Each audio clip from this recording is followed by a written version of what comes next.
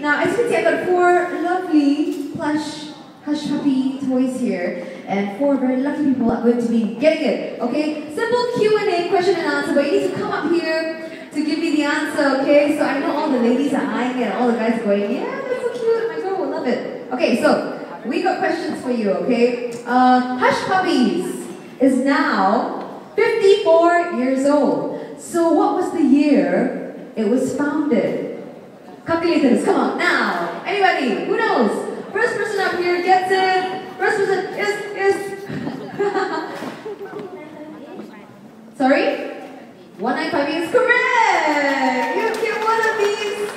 Isn't that adorable? It is so soft and huggable. You can hug the seat. Okay.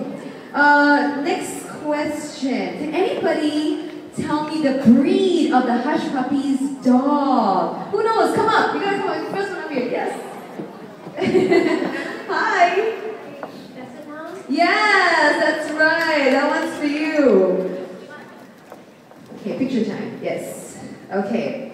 All right. Only the ladies have come forward. What the guys? Guys I don't want to be carrying uh, know, dogs. Okay. Next one. Um, let's do another one here. How about this one? Okay. Now, last year, Hush Puppies collaborated with Anna Sui on two successful collaborations: the Autumn Winter 11 uh, and the Spring Summer 12. This year, the brand has collaborated with a UK design house. Which one is it? The answer is kind of there. You can see. okay. Hemingway design. Yes! And you've got the cupcake too. You can post both. All right, one final one, one final one here. Uh, this is simple. Where is Hush Puppies from?